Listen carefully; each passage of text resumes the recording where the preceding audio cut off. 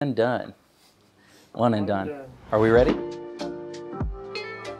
What's going on guys? It's Travis from SES Integration. I am here with Trey. He's the director of SES Integration and we are at Times Square Church in Times Square, New York. And uh, we did a, an entire AVL upfit to this building in September of 2021. So today what we wanna do is walk you through that install, walk you through the products that we have on the install, talk about the system a little bit and some of the challenges that we came across when it came to this space. Um, something that is very unique. It's not just any other church as you can probably see in the background of just this original shot this is quite the building. Um, so Trey, give us a little bit of insight. Where are we? What What is this building? Right, we're literally in the heart of Times Square, New York, in what was a Warner Brothers theater at the time. It started out as a uh, as a Broadway style theater show, right? So it's got all the traditional old school theater. Uh, ornate finishes, beautiful molding, tons everywhere. of historic aspects to this room, and it's actually a preserved historic site. So it produced a lot of challenges from that perspective. Sure. We had we had to do approvals for anything we wanted to change that would uh, that would change the look of the space. Yeah. Right. Like typical things of hanging speakers that was fine that already existed, but the booth that we stand in. Right. That was a big deal because we took out rows of seats and we leveled parts of the floor. It involved pouring concrete. I mean, it was a big deal that sure. they had to get approved and checked on.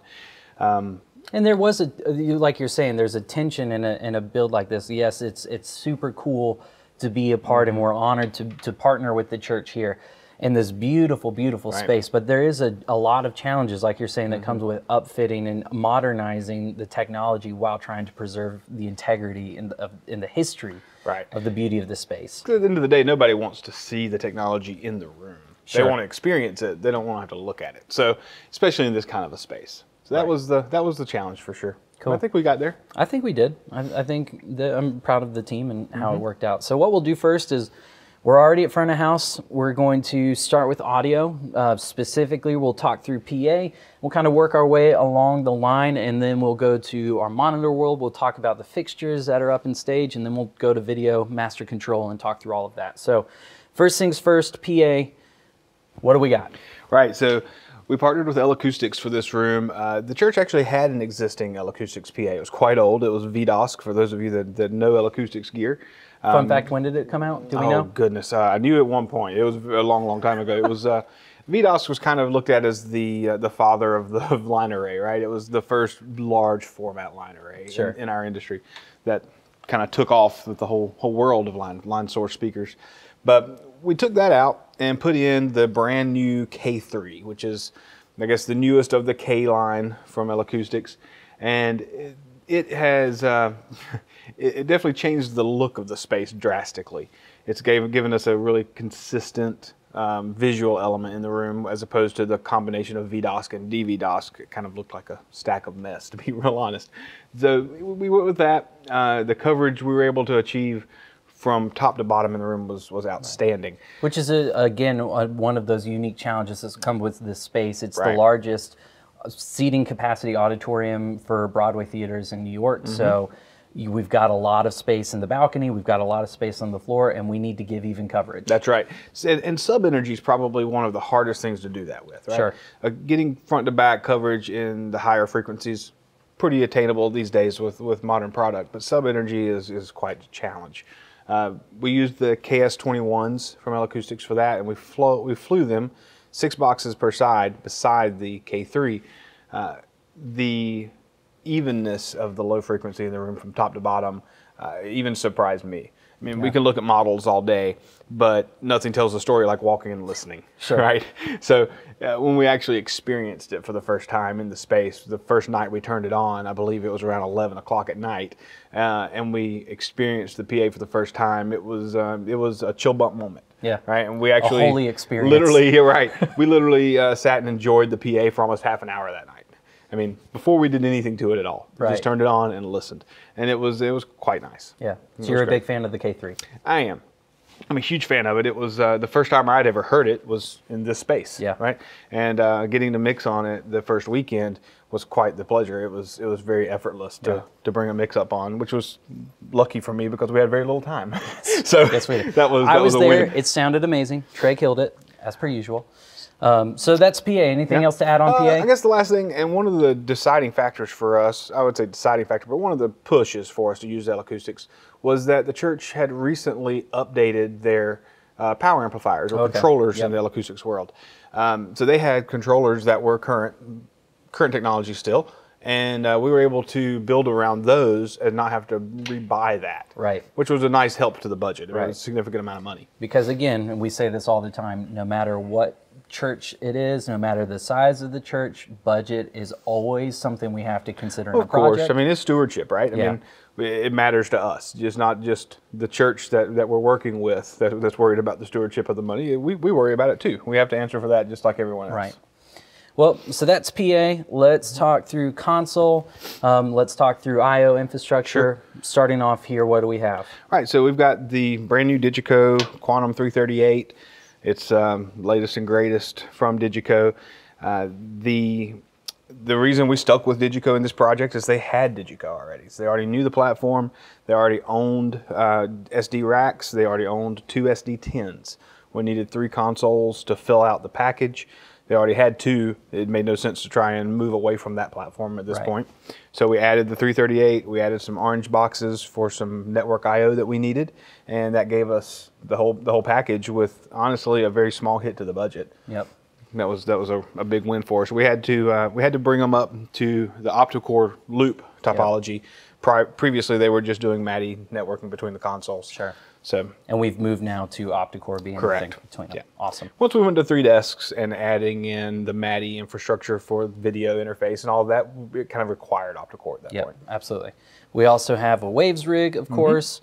Um, just a quick hit. What's this plugin you got brought Sure. up? So this is PSE. Um, it is it stands for Primary Source Enhancer. It's uh, it's probably one of my uh, one of my favorite plugins. This is a very simple plugin, but if you could think of it as a glorified gate, but intended for intended for vocal or primary sources, it it really does uh, does help you stabilize a source, especially if you've got something that's right at the edge of feedback or having to operate very close or in a highly ambient space. It really does stabilize that source. Mix trips or mix Mixed tips. tips, trips, tips whatever. I, I can't I can't say it correctly. With Trey. Um, let's go ahead and move on to cameras. Yeah. So what do we have behind us? We're going to move over and step up at the same time because we got to get above people's heads. Right, right. Um, so if you notice, we're pretty close to the ceiling. We have two cameras, camera one and two at front of house. Mm-hmm. So talk us through what do we have on these tripods? What lenses? What are the tripods as well? Right, right. All the way through. So we've got the Canon C300 Mark IIIs with all Canon glass. They're full servo lenses, um, full all cinema style cameras here. The every camera in the system is a is a C300 cinema camera. Yep. we used the Multidyne fiber systems Okay. to kind of bring these cinema systems into a live production world. That's a that's a challenge with most cinema cameras, just to try to integrate them into live production, right? Right. This this accomplished that for us with Multidyne. We've got a combination of products from them, um, from the very simple fiber interfaces here to on, on stage when we get to those cameras, you'll see more of a traditional fiber back with a SMPTE fiber plugged right in. Right. So we, we, we kind of picked and chose what we need there For to uh, to make budget work, right? Yep. So no sense in spending money where it wasn't helpful. And just to talk through that really fast and how much Multidyne Mm-hmm. has been a help to us in designing these systems. Sure. As the church world has started to shift from the broadcast style to the cinematic world, the infrastructure has been the thing that has been difficult to figure out. Right. Trying to figure out how do we make these cinematic cameras work inside of the with the broadcast style function that we Mm-hmm. need. You know, why is Multidyne the right fit in this in, in this installation? Right. So Multidyne for us has been more about the partnership. Yeah. Right. They're always involved. They're always helpful. They always answer the phone, which is a big deal, right? It's a big deal. So they will. Uh, they came alongside of us. They're also in town, which is super nice. So on this project specifically, the timeline was probably the the largest challenge. Everything you see here, none of it was harder than the timeline we had to do it in. Yeah. So the fact that they were close, they were able to come to the site when there were when there were issues with temporary solutions that they were providing. They jumped right in, helped us out, got it working. Uh, so that that was a big deal. You know, any any company that's willing to jump in like that is a company that we're going to stand behind and support and, and, and push down the road. So Absolutely. they've been good to us. We- We've got a 50 to 1000 Mm-hmm. lens on camera one, a 25 to 50 lens on camera two. Let's talk about tripods. What are we rocking? So we used Miller. Um, they're, they're kind of our go-to for most projects. That until we get into the super large format broadcast cameras, where we get it, get really heavy, um, we almost always stay with Miller. They they hit a price point and quality balance that uh no one else in my mind really really gets. Um, these are a, a bit of a combination system here, but we've got their pedestals with the Skyline 70 heads, and that gave us the, the weight and smoothness we needed for these cameras, uh, as well as our ability to raise and lower this camera during the service. So this theater, we didn't have the space either in ceiling height or floor to get above heads the way we really wanted to with these cameras at a fixed height. So, given the rake of the floor and whatnot, we knew that for worship the cameras needed to be at one height, Yep. and for the sermon we really wanted them back down, uh, more level with pastor. Yeah. So we used the the pedestal. At the end of the day, it's, it was a very small delta between this and a fixed tripod. Sure. So that was another big win with Miller is that they actually give you an offering like this that doesn't break the bank. Yeah. So And I'll, it helped. I'll jump in really fast and talk about the, the creative element that comes with being able to have that flexibility Mm-hmm. in height. So, you know, in a broadcast situation where someone is not experiencing what's going on in the room, we want people to feel like they're in the room. We want Right. people to feel like they're in that experience. And so, being able to, through worship, have your pedestal at a height to where you can shoot through raised hands, Mm-hmm. you know, there's a lot of stylistic or creative flexibility you have, even literally by just raising the height of your cameras. Right.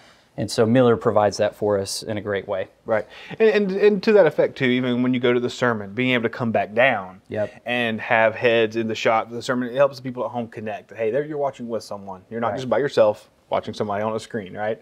You're connected to a whole group of other people. Absolutely. It's good. Well, let's uh, let's jump on down Sure. to lighting. So we have lighting console over here. We'll talk about fixtures when we get to stage, um, but we also have the architectural lighting in here. So let's start with that. What is the backbone of this system? Right. So the system is, is driven by GrandMA3 hardware. This is a, um, a compact from GrandMA3.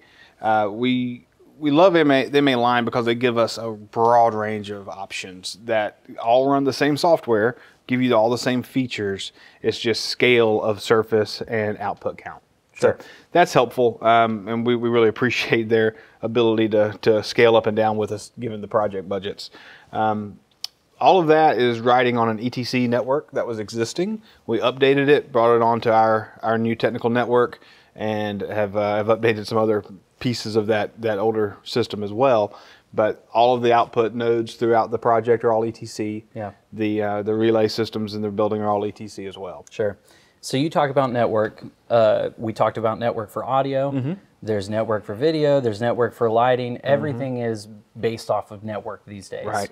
So I know that we have some more network stuff going on inside of this design. Let's talk about that for a second. Sure. What does the network infrastructure look like for the whole project? So the entire system's running on Netgear 4250 series switches, which is a AV industry purpose-built switch platform that Netgear developed.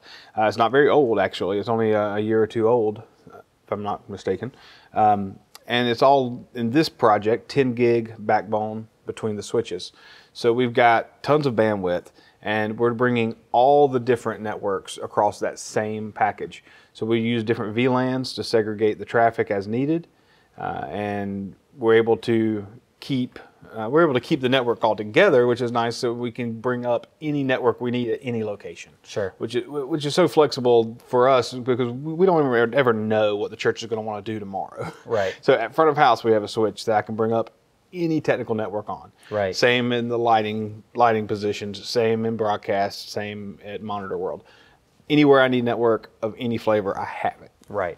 and it saved money as well. So we're not we're not duplicating switches in places. I don't have to put two different switches here. For audio and then lighting. Correct, right? Just one. Just one switch, different VLANs. So what do we love about the Netgear So series? one of the things about the 4250 line is they really thought about how it integrates into the AV world. Yeah. All of the ports are on the rear of the switch, which is you know somewhat opposite of what everyone's used to. It looks sexy in a rack. It, looks really good. So now our racks no longer have piles of cable coming through the front to connect to the switches. It's all on the back. It dresses out just like everything else in the rack does, Right. which is really nice. What else? One other thing you like? So probably my the thing that attracted me to that switch before that was the user interface. They really built a end user minded GUI for the technical people at, that are using those switches to, to operate. It's not uh, it's not IT guru based. it does have that side for the IT nerds that want to do it, right? Sure. But for every AV operator out there that needs just needs to hop in, spin up a different VLAN on a port, you can do that very simply. Uh, they really made that easy to use, Yeah. which very few switch manufacturers think about that part of the world. Right? Sure. 'Cause that's not what they're building for. right. These guys did it. Yeah. So. Two more things, and then we'll move up to the stage. Number one is notice that Audio World and at Lighting, we have a multi viewer in both Mm-hmm. of these locations. Let's talk about the importance of having that available to the operators. Right. So, you know, for the audio guy, it's, it's really more about cueing, right? So they're able to see different camera shots that are that are in the room. They're also able to see uh, graphics packages on the on the multi-viewer as they're starting, as they're prepping to roll. So they're able to to get some visual cueing as well as any producer cues that may be coming over intercom for lighting, it's uh, equally important for the cueing as it is for looking at at the imaging that's coming back from video. Yeah. So they're able to see, okay, is that, is that looking blown out? Are they not able to get enough light, you know, for that shot? So they're able to, to really take some visual cues on their own without the engineer in video saying, hey, I need more light here. Sure. It's always nice if the operator can just look and make the make the correction on their own. Right, absolutely. Final thing I want to talk about is you talked about intercom for mm-hmm. just a moment. What are we using for com on this project? Right. So this is all based on the Clearcom HelixNet platform. Okay. It's a traditional party line minded platform, but modernized to be digital. So it will uh, it'll run on a couple different topologies. In this case, we're doing all over IP once again. So it runs on its own VLAN on our central technical network, um, and then we have a wireless component to that as well from Clearcom. It's the brand new FreeSpeak Edge platform. It gives us some four channel belt packs uh, on the 5 gigahertz platform as well as some two channel belt packs on the traditional 1.9 gigahertz platform which is which is great since they already owned a pile of those Right. the we, we knew we wanted the the nicer newer belt packs for the producers here Yeah. just for the for to serve their needs but they already had a bunch of the existing units well this new base station allowed us to use them both Yep. So budget. nice. right Budget, exactly budget. Always comes down to budget. yeah, anytime we could reuse something, why not, right? not? This money's already been spent. Let's let's make it work for us. That's right. Well, we're going to go ahead and move on up to Monitor World. We're going to talk about what's going on on the stage. Are we good? All right, so we have made our way up to Monitor World.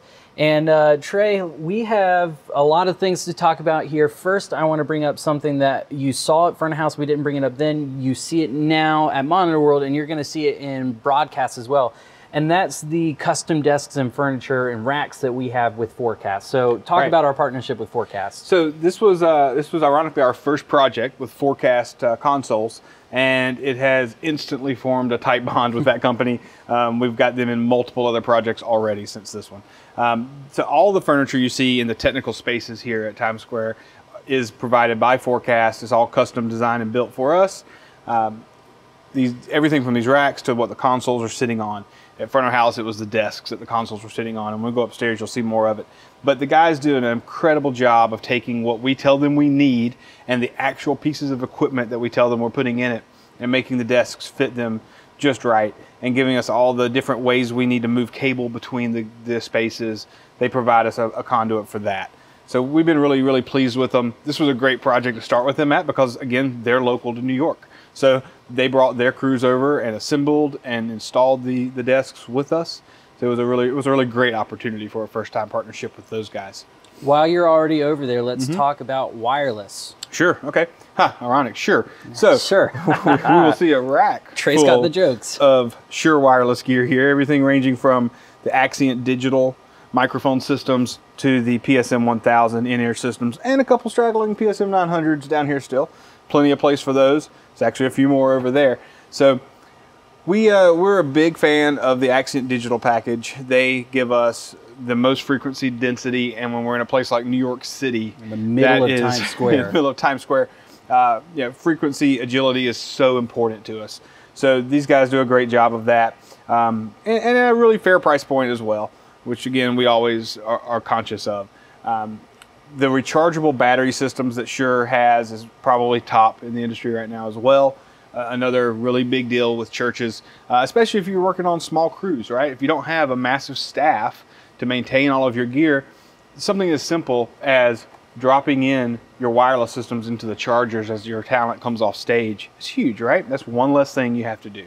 So we, we do really appreciate that from Shure. No more buckets of partially used AA batteries Right. and 9 volts laying around everywhere. Right, right. And so, and it's just a recurring, uh, recurring budget item that goes away, which is which is nice. Yeah. So, Well, let's talk through. We've got the SD racks Mm-hmm. placed here for the stage as well. So this goes into the whole I/O ecosystem for audio. right. And then we move over to Monitor World. Let's talk through uh, the console that we're using right here. Right. So we're using the Digico SD10. This is one of two SD10s that the church already owned. Uh, again, we just brought it forward onto the OptoCore network and implemented it here at Monitor World. The other one is in broadcast audio. We'll see that a little bit later. One of the specific things that we added in to the package for Monitor World here is the KLANG system. So we've got an orange box from Digico racked in the back of this cabinet with a KLANG card. You can see the interface for it on the screen here. Um, that gives the musicians the ability to spatially place things in their mix as well as volume, right? So now not, we're not only mixing volume in their in-ear monitors, but we're also mixing spatially, so we can move it around their head, forward and backwards in the space, vertical, up and down. It really does change the landscape of what they're hearing. Right. And it's a big deal for the people who are on stage leading worship. We want them to make sure that they've got great in your mixes. Right. We're bringing the best out of the talent on stage. Right, So, right. again, we've talked through having a multi viewer at Mm-hmm. the different serving positions. We have one at Monitor World as well. Right?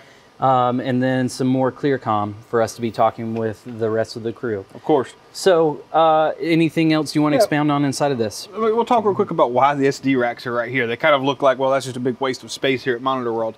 Well, in this application, we're on a theatrical stage. This is a big performance stage that, uh, in the intent here, is going to still remain that. They're, uh, they, they do have desire to use this space still for theatrical production. So it wasn't practical necessarily to go in and install a bunch of infrastructure all over the stage. Right. So this stage works like a typical theater stage. All cable comes off the side of the stage and patches right here at Monitor World.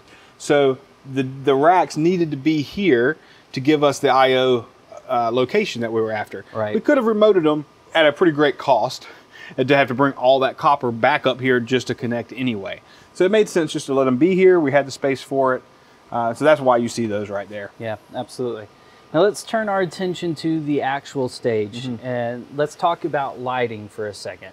So we've got a whole light grid over the stage. Mm-hmm. We have key light in some very specific and, and unique positions here, Right. um, as well as we've got some traditional box booms Right. over here. Uh, but we have one manufacturer for lighting on this job.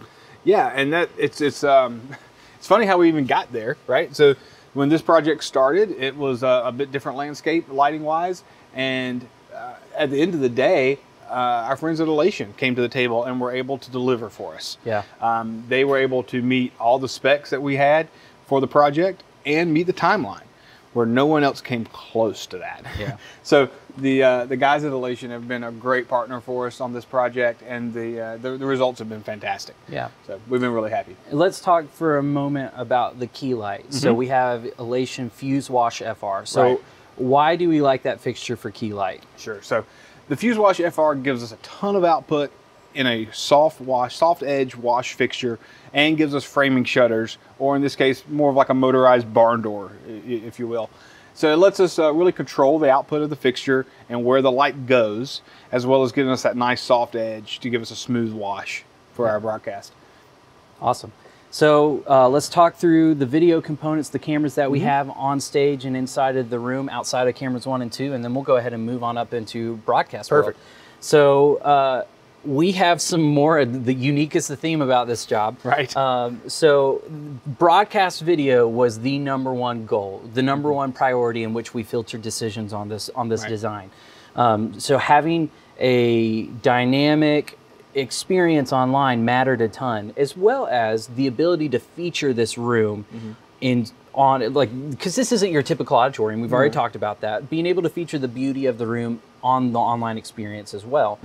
So that resulted in one of two Furios being placed on the stage. So Ross Furio, this is our first install with them. Um, let's talk about your experience with them. How have you felt with the Furio on stage, the Furio in the room? Let's just talk through Right. those for a moment. Sure. So we've uh, we've we've talked to our friends at Ross about Furio for years. We've we've actually taken the Furio into a lot of places. Yeah. We, have we've really uh, we've really gotten behind the Furio concept. Um, at the end of the day, Furio is a is a pricey option, but it does give you a tool that there's no other way to achieve that shot, uh, especially in a consistently moving application. Uh, lots of ways to make a shot move across across the screen.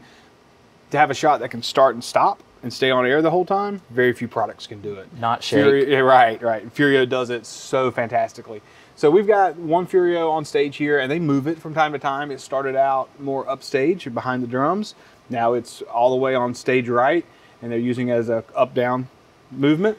Uh, and then we've got the Furio, Furio on the balcony face. The Furio on the balcony may be the most unique Furio application that um, that we've even looked at Yeah. to date. Um, it's not a hanging Furio; it's a track-mounted Furio riding on top of the track across the top of the balcony face. And this balcony is different, we'll say, like most things in this How room. different? It is not only curved, but it's also sloped from the center down towards the outsides. So we had to level the track on that curve on a custom curve. So it was quite unique, and uh, the guys at Ross worked with us phenomenally to come up with a custom track for it. Uh, and the field engineer came out and helped implement that as well. Yeah. And it, it was a huge success. It's been it's been great. Outside of the cool factor of it, because I mean, it's it's pretty freaking Mm-hmm. Oh, cool. It's pretty freaking cool. like, why why was this the the right tool for the job? Right. So our challenge here in this balcony was again with the historic nature of it, we couldn't really take away seats up there, but we know we wanted that shot. We knew we wanted that shot. So What shot are you referencing? Just We- movement in the room. we wanted well, there were two two aspects of it. We wanted a shot from that position in the Sure. balcony, right? And it was a great space space to shoot from, especially when we're dealing with choir because our choir's elevated here. Um, we needed a shot that got the choir elevation, you know, properly, as well as just a high and wide shot for, of pastor during, during sermon elements and whatnot. The other piece of it is the fact that we can now move the shot, so it travels. So now we can get a dynamic movement from a raised perspective, uh, something that without a product like Furio, there would be no way to get, especially in this space. Because again, we couldn't take away seats, we couldn't create a camera position anywhere up there. when jib is not an option. right, there was no place for a jib, and there was no place sensibly for an operator. sure. Right, we needed an automated solution. Yep. And Ross delivered on that. They did. So, in addition to the Furios, we have two more cameras that are roaming around. So, we have one more C300 Mark III, Mm-hmm. and this is where we get to another Multidyne product involved. So, Right. talk about the fiber back that we've got. So we have a full-blown silverback system for Multidyne for the stage camera. So it's a traditional SMPTE fiber plugged straight into the camera back, right? That's the idea here. We needed a, a system that the guy could walk around with, with one cable connecting him up with intercom, power, Right. uh, video, all of that in one solution. Yeah, especially because a lot, and this is a stylistic thing, right? Mm-hmm. Where we want vision to be the deciding factor for gear. Where mobile cam, we want to be able to have the flexibility to get some tight shots, move Mm-hmm. around, but also still have the ability for lens control, camera Right. control. Uh, you know, the CCUs to still be able to control all of that. So that's where the fiber back definitely helps, especially when we're using the Easy Rig for the roaming camera. Mm-hmm. Right, right. We have one more camera on the job, and this is a C70 um, that an operator is using with a Tilta Float and an RS2 um, from DJI. So a lot of movement happening on the stage, a lot of uh, shots taken in that creative, uh, the creative way. And of interest, that camera, that C70, is also has a wireless link. Yes. So we're using the Clearcom wireless intercom solution with that camera, as well as a wireless video solution there. Which is the Man, I Teradek. tell you. That's right. Yeah, It's a Teradek. which is a Teradek wireless solution. there you go. I knew one more thing than Trey did. Yeah, I was going to remember. Never happens. Next step is for us to talk about the tow light here, which is Yeah. a very unique thing. Again, unique is the word. Unique New York. Unique Yeah, New York. unique. Let's uh, let's talk about the tow light, and then let's head up to broadcast. Right. So we took a product from TMB uh, called floppy tape. Um, kind of a fun name, but Very it's just masculine. yeah, right. It's just a, an LED tape, but it is a very color accurate variable white tape that we were able to put into a custom um, custom channel that we milled into the stage to make it come out perfectly flush with the top of the of the stage cap. Uh, we wanted because we knew they entered up and down on the face of the stage. We couldn't have anything that stuck up beyond Right. that, that cap. So Couldn't recess anything. Right, really we, couldn't, we couldn't recess any further either because again, the toe for it to be an accurate toe light, it couldn't be below the stage lip. Yeah. So we were able to take this product and mill it in perfectly flush, uh, and it does a phenomenal job. Looks great on camera. Yeah, and we put a frosted ti- or a lens on top of it Mm-hmm. Right, to and diffuse a some of the that's light. That's a track and lens uh, extrusion and lens solution from TMB for that custom made for that product, uh, and it, it fit right in great. So there's one more thing on the project I want to talk through that is not necessarily a part of our project, Mm-hmm. but it's a huge part of what you can see in the background on this video, and that's Right. all of the stage pieces and LED. Right. So, you know, talk about what that looked like and how we interfaced with that. Sure. So all of the set design on this project, an LED wall, um, as well as all the back visual elements here uh, and choir risers, were part of a prior contract before we got involved with the church. So we are controlling it with the lighting system like any other lighting element would be, but we didn't actually provide any of that. That was already uh, already designed and in the process of implementation when we came on. So we worked with the other contractor pretty seamlessly to, to make it all go together with everything we were doing. And I think that's the important thing in our industry in general is that you know we, we work really hard to, to get along with everybody because we're, we're all here for the same purpose. So. Yeah. Well, let's go ahead and let's go to the broadcast. Let's see what's going on in there. Oh man, I got all kind of text messages. All right, here we go.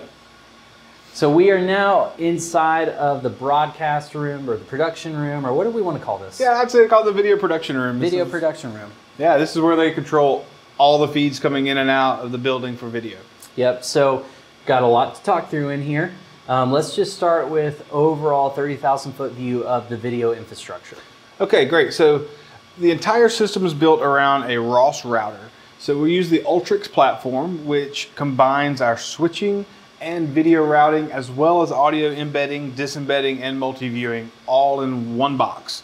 Uh, the, the advantage of that is we don't have a lot of signal coming in and out of different pieces of gear, fewer points of failure, and a, a way better control system since we're controlling one piece of hardware. Yeah, absolutely. So we have that as the router. Now, what are we using for switching? So again, it's a Ross switcher. It's the Carbonite platform. If you're familiar with the Ross Carbonite Ultra, it's the same switcher in a blade format that goes in the router frame. Yep. So this was our first install with the blade format, Right. correct? Right. So this is the first time we've implemented that. Um, we learned a lot through that process. Uh, it was all good though. We're putting it in multiple other sites now. Yeah, awesome. Uh, as you can see behind us, we have some more beautiful Forecast desks that uh, custom designed for this space. That crew did an amazing job with that. Um, and a lot of empty chairs where people are serving. So a lot of different serving positions that make Right. this happen on a weekend. So let's go station by station, starting with the front left, all the way down front uh, serving position. So what is that? Sure. So we've got a position for a general producer role, Yeah. right? So this, that position is intended to be the producer that's overseeing all of the live production. So followed by that is the broadcast switching position, where they're switching what goes out for their broadcast. So it's what- the Ross TouchDrive Okay, perfect. TD2 panel. Yep. It's a TD2S actually. So a few more buttons than the traditional TD2. Um, and then just keeping going across that row, we've got the Furio control position. This is where they control all of the robotics. So Right, both all, cameras. yeah, both cameras, both Furio tracks mm-hmm. controlled from one position. Correct. Awesome. And with most robotic camera systems, you're using presets, right? Yeah. And it's not a traditional preset where you hit the button and it snaps to that position. It's fully programmable. You can control the start and stop speed, the speed through positions. I mean, you, you, you get a ton of granularity to that. Yep. So they control both of those from there. And then the far right position is where we do all the painting and shading of the cameras. So that's the traditional engineering position where they where they do coloring and and shading for the, all the camera shots. Yep. And a fun thing that works alongside of these CCUs for, for Canon specifically is there's lens control inside of that Mm-hmm. Right. as well. So It's pretty unique, really. it is unique. Again, another application of the word unique, but also like from a uh, for in a church environment where you have volunteers and plenty of times where you're training and onboarding volunteers. Uh, focus can sometimes not be exactly what you want.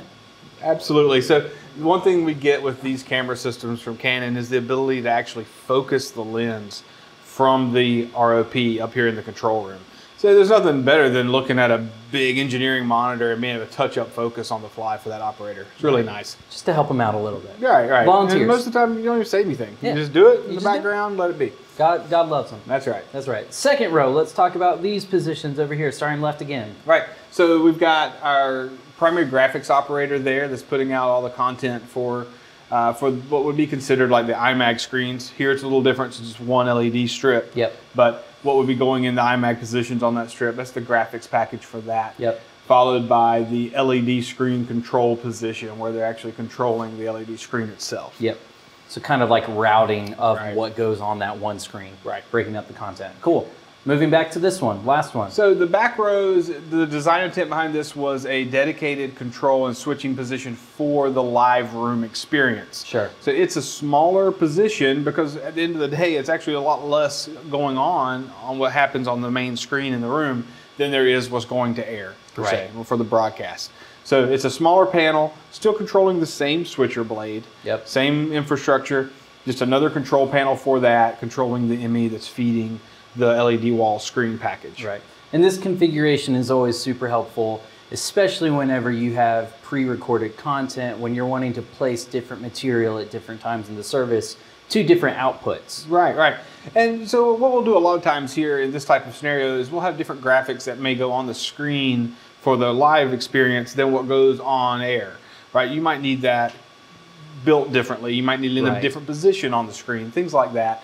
So the graphics packages are often different, hence the separate graphics positions, uh, as well as these positions are taking care of sermon notes and things like that for the stage display screens. Yeah. Uh, let's talk about the multi-viewers. Size TVs, what are we doing? All right, so we've got 365 inch displays that are effectively wall to wall in the front, and we're feeding those off of the multi view outputs of both the Ultrix router Yep. As well as the Carbonite switcher blade. So we're taking advantage of both multi viewing systems here to get the output count we needed. Uh, the Ultrix platform allows you to license up multi-viewer heads as you need, uh, and then the Carbonite blade comes with two multi-viewer outputs already. Yeah. So we were able to, on this project, leverage the two outputs from the switcher blade as well as three licensed outputs. So we've got five different multi-viewer heads that we can configure and put around the campus where we need them. Yeah, awesome. So finally, right behind the camera right now is the CER. Mm-hmm. Um, and then behind that, we have broadcast audio. Right. And just like everything in New York City, real estate is at, is at a premium. At a premium. So space was a little bit tight when it came to this install, but let's talk about what goes on inside of there. Right. So we've got uh, the other SD10 that we talked about. That was part of their package. Is in that space with uh, a, a couple of pairs of monitors, so they can choose between the large format Genelec system as well as some some Auratone smaller format monitors, so they can bounce between that and always have a good reference point uh, for the broadcast. People listen on all kinds of devices, right? Right. So you got to give them different options to listen to as well when they're mixing in there.